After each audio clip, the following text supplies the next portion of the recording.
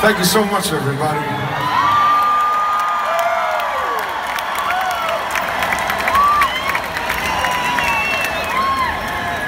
Sometimes when you're all covered in, in and your jeans are wet and, and then your legs are sticking together and you're getting a little rash and then it doesn't feel good. Sometimes you just gotta you gotta borrow a bucket of fuck it from Jeff over there.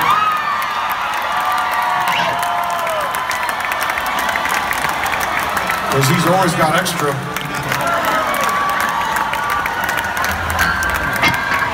Sometimes he has too much. I'm like, give me some of that shit. Fuck. Whoops. You can dance like this. Yeah.